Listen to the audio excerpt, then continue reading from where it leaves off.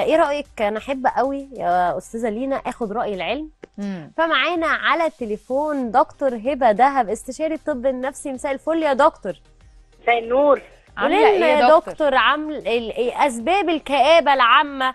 وهل الستات اللي كئيبة أكتر ولا الرجالة؟ طيب خليني الأول أقول لكم مساء الخير مساء الفل. مساء الخير لكل ضيوفكم. الرجالة كئيبة أكتر ولا الستات؟ آه بشكل عام ال- الستات أكثر استثارة يعني تكويننا آه. الجسدي وفكرة الهرمونات اللي بتت- بتتقلب زي مثلا ال ال ال الهرمون اللي ممكن تت- تتقلب بسبب ال- البيريوس أو الولاده أو هرمونات بتتغير في جسمنا بسبب الحمل فإحنا ده بيخلينا أكثر استثارة مش كآبة مم. يعني نبقى متقلبين المزاج آه لحد كده تمام؟ طول آه تمام قوي فهم بيسمونا بسبب التقلب المزاجي ده إن إحنا إيه لأ ده إحنا نكديين لأ ده إحنا لأ هي أصلا متقلبة المزاج مم. فهي ممكن تبقى شوية متضايقة وشوية تانية فرحانة جدا عادي دي جدا. والدنيا كويس مم. طيب الرجالة أكثر كآبة خلينا ما نقولهاش كآبة قد ما نشوف إن الرجالة أكثر تحمل المسؤولية يعني مم. لو حد فينا النهارده قرر إن هو يقعد من الشغل ومش عايز مسؤوليات تمام. المفروض إن ليها أب أخ زوج ابن هيصرف عليه هتتصرف آه. آه. لكن الراجل بيحس إن كل مسؤوليات الحياة. وخصوصا لو معاه واحدة ست مش بتشاركه ماليا أو ماديا عليه هو. مم. والمصاريف بكل أشكالها عليه المسؤوليات حتى الأدبية والأخلاقية عليه طبعا. فهو بيبقى حاسس بكم من الأعباء أكتر شوية من الست. أكيد. فده بيخليه حريص أكتر. أنا يعني مش حابة نستخدم مصطلح الكآبة مم. لأن فكرة الاكتئاب فكرة صعبة مش سهلة. طبعا. سواء كانت لراجل أو كانت لست. في في الحالتين في صعوبة. أكيد. فخلينا نقول ان إن سواء راجل أو ست ممكن يكون عنده استعداد إن يبقى شخصية اكتئابية آه. طب دي ليها علاقة بالوراثة؟ آه برضه.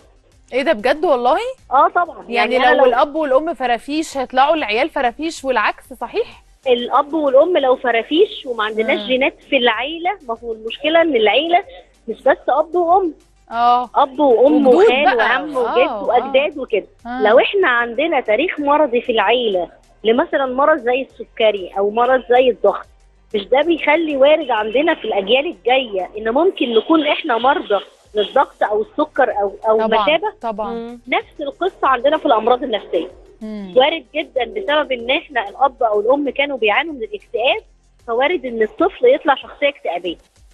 أو. يطلع عنده مريض. اكتئاب. ف... ففي آه. حتة وراثية برضو فلازم وإحنا حتى بنقبل على الجواز أو الاختيار أو كده نبقى مركزين قوي في الاختيار علشان ده. عندكم حد كئيب في عيلتكم ولا؟ عندكم حد رخم؟ يعني ده ده برضو ممكن إن هو للأسف يتورث و- وبيبقى بقى الأمراض النفسية اللي بتدخل فيها حتة الوراثة بتبقى أقوى طبعا في إن تاخد مننا إحنا وقت أكبر في العلاج. أكيد. طيب دكتور هبة إزاي إن أنا أكيب إن أنا يبقى عندي مود لطيف؟ إن أنا حتى لو في حاجات حواليا آه، عوامل بتخليني مضغوطة سواء بقى في الشغل في الشارع متخانقة مع صحابي آه، في mood مش لطيف. إزاي أحافظ على mood ي؟ أحاول على قد ما أقدر إن أنا ما انساقش ورا إن أنا أبقى آه، مايلة شوية للاكتئاب كده أو إن أنا حلو. أبقى متضايقة كده. كلام جميل جدا. آه. أول حاجة أول حاجة هنتكلم في حاجتين صحتي يعني حاجات صحية ملهاش علاقة حتى بالاكتئاب أو غيره بس هي بتحسن المزاج العام. إن أنت تاكل أكل صحي وإن أنت تنام كويس.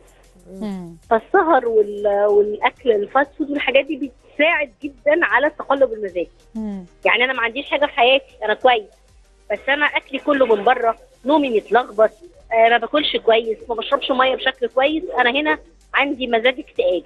حتى هو لو أنا ما عنديش حاجة آه، ك... كحاجة function أو حاجة وظيفية في حياتي مم. طيب أنا حصل لي ال mood ده سواء إن أنا آه، عندي مشاكل أو أو أو أول حاجة حاول واحد نفس بعمق اتعلم التنفس والاسترخاء اثنين. بعد المرحلة دي هتبدأ تحلل إيه اللي حصل وبموضوعية أنا التحليل ده أنا كنت فيه مخطئ في إيه وال- والظروف اللي حواليا آه، فيها إيه مشكلة مم. طيب ما عرفناش نعمل الكلام ده حتى في وقتها مم. تأكد من جواك إن كل مشكلة ليها حل. طيب ما لا والله ده يا دكتورة المشكلة دي ملهاش حل. هقول لحضرتك إن التقبل هو الحل. أنا متقبل إن أنا بعاني من مرض معين أو من من وجع معين. أنا مم. بعاني من إن أنا مش مرتاح أحسن حاجة في الشغل. مم. أنا بعاني إن أنا عندي مشاكل أسرية. حلو. بس لما هنتقبل جزء منها هنعيش وإحنا مرتاحين أكتر. طبعا صح.